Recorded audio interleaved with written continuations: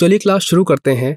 इस टॉपिक का C V three poly halogen compounds part one तो क्लास अगर हम पॉली हेलोजन कंपाउंड्स की बात करें तो पॉली हेलोजन कंपाउंड्स ऐसे कंपाउंड्स होते हैं, या यूँ कहें कि ऐसे कार्बन कंपाउंड्स होते हैं, जिनमें एक से ज़्यादा हेलोजन एटम्स प्रेजेंट होते हैं।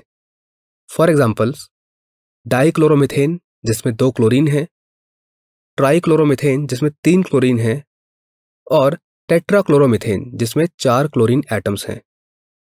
और स्टूडेंट्स, ये ज़रूरी नहीं है कि सिर्फ़ क्लोरीन ही हो, कोई और भी हेलोजन एटम हो सकता है। आइए देखते हैं कि डाइक्लोरोमिथेन क्या होते हैं। चलिए शुरू करते हैं डाइक्लोरोमिथेन। तो क्लास, अगर हम डाइक्लोरोमिथेन के स्ट्रक्चर की बात करें तो वो कुछ इस प्रकार से होता है, जो लगभग टेट्राहेड्रल स्ट्रक्चर है और इसमें दो क्लोरीन एटम होते हैं कार्बन के साथ अटैच्ड। और इसी मॉलिक्यूल को हम बोलते हैं डाइक्लोरोमिथेन। इसको हम एक और नाम से भी जानते हैं, और वो नाम है मिथाइलिन क्लोराइड। अगर हम डाइक्लोरोमिथेन के यूजेस की बात करें तो क्लास इनका यूज़ होता है एरोसोल्स में प्रोपेलेंट की तरह, और इनका यूज़ होता है पेंट रिमूवर में, यानी कि इनसे हम ऐसे सब्सटेंस बना सकते हैं जो पेंट को रिमूव करने में हेल्पफुल होता है। इसके अलावा इनका यूज़ होता है ड्रग मैन्युफैक्चर में एज अ सॉल्वेंट। और इनको हम यूज़ कर सकते हैं मेटल क्लीनिंग में या मेटल फिनिशिंग में एज अ सॉल्वेंट तो क्लास ये तो आप देख चुके हैं कि डाइक्लोरोमिथेन के यूजेस क्या हो सकते हैं बट इनके कुछ हार्मफुल इफेक्ट्स भी होते हैं। आइए देखते हैं कि वो क्या हैं। अगर मिथाइलिन क्लोराइड की एक पर्टिकुलर कंसंट्रेशन एयर में पहुँच जाए तो उससे क्या हो सकता है? क्लास इससे देखने और सुनने की जो हमारी क्षमता है, वो प्रभावित हो सकती है। इससे डिजीनेस होती है नौसिया होता है। इसके साथ साथ हमारे फिंगर्स और टोज में नमनेस आ सकती है। अगर हमारी स्किन और आईज का डाइक्लोरोमिथेन के साथ डायरेक्ट कांटेक्ट होता है तो क्लास उससे इंटेंस बर्निंग हो सकती है। माइल्ड रेडनेस ऑफ़ स्किन हो सकता है, यानी कि स्किन पे रेड कलर के धब्बे पड़ सकते हैं। और कॉर्निया तक बर्न हो सकता है। आइए अब बात करते हैं ट्राइक्लोरोमिथेन की। तो क्लास, अगर हम स्ट्रक्चर की बात करें तो यहाँ पर स्ट्रक्चर दिया गया है, आप देख सकते हैं। इसमें तीन क्लोरीन है और एक हाइड्रोजन है, कार्बन से अटैच्ड। और ये भी लगभग टेट्राहेड्रल स्ट्रक्चर ही होता है। और क्लास, ट्राइक्लोरोमिथेन का एक और बहुत फ़ेमस नेम है, जो है क्लोरोफॉर्म। अगर हम ट्राइक्लोरोमिथेन या क्लोरोफॉर्म की कुछ प्रॉपर्टीज़ की बात करें तो क्लास ये कलरलेस होता है बट तब जब ये प्योर फॉर्म में हो। वॉलेटाइल होता है, यानी कि अगर इसको हल्की सी भी हीट मिले तो ये वेपराइज हो जाता है। इसकी स्मेल स्वीट होती है और ये एक डेंस लिक्विड है।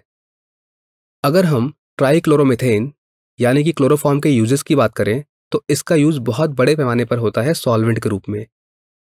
ये फैट्स के लिए एल्कलॉइड्स के लिए और आयोडीन के लिए बहुत अच्छा सॉल्वेंट होता है। क्लास क्लोरोफॉर्म का एक और बहुत बड़ा यूज़ है और वो यूज़ है फ्रेन जैसे रेफ्रिजरेंट बनाने में, जैसे कि आर ट्वेंटी टू इसके साथ साथ क्लोरोफॉर्म का यूज़ सर्जरी में भी एज एनेस्थेटिक कंपाउंड के रूप में होता आया है। लेकिन इसके टॉक्सिक नेचर के कारण अब इसको रिप्लेस कर दिया गया है लेस टॉक्सिक ईथर से। चलिए क्लास अब बात करते हैं ट्राइक्लोरोमिथेन के हेल्थ रिस्क की। तो क्लास इससे क्या होता है? जो हमारा सेंट्रल नर्वस सिस्टम होता है वो डिप्रेस हो जाता है। इससे डिजनेस फील होती है और हम फटीक महसूस करते हैं। इसको इनहेल करने से हेडेक होता है और अगर ज़्यादा इनहेल कर लें तो लिवर और किडनीज डैमेज हो सकती हैं। क्लास क्लोरोफॉर्म के हेल्थ रिस्क प्रोड्यूस करने का एक और बहुत ही मेन रीज़न होता है, वो ये है कि जो क्लोरोफॉर्म है, अगर वो सनलाइट के उपस्थिति में रख दिया जाए तो वो फॉस्जीन जैसी गैस प्रोड्यूस करता है। तो क्लास अगर क्लोरोफॉर्म है और वो एयर में उपस्थित ऑक्सीजन से रिएक्शन करता है सनलाइट की प्रेजेंस में तो वो बनाएगा कार्बोनाइल क्लोराइड जिसको हम फॉस्जीन गैस भी कहते हैं, और साथ में एचसीएल अब क्लास ये जो फॉजिन गैस है, ये एक पॉइजनस गैस होती है।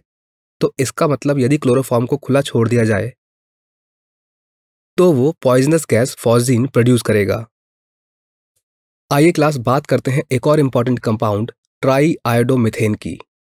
तो क्लास अगर हम स्ट्रक्चर की बात करें तो वो कुछ इस प्रकार से है, लगभग टेट्राहेड्रल और ट्राई आयोडोमिथेन को हम आयोडोफॉर्म के नाम से भी जानते हैं। ट्राई आयोडोमिथेन को पहले एंटीसेप्टिक की तरह यूज़ किया जाता था। और क्लास इसकी जो एंटीसेप्टिक प्रॉपर्टी थी, ये इसके खुद की वजह से नहीं थी। ट्राई आयोडोमिथेन एक ऐसा कंपाउंड है, जिसमें से बहुत ही ऑब्जेक्शनल यानी कि गंदी स्मेल आती है। इसीलिए एक बहुत ही अच्छा एंटीसेप्टिक होने के बावजूद ट्राई आयोडोमिथेन को एज एन एंटीसेप्टिक यूज़ नहीं किया जाता है। इसकी जगह पर आयोडीन के और अदर कंपाउंड्स बना लिए गए हैं।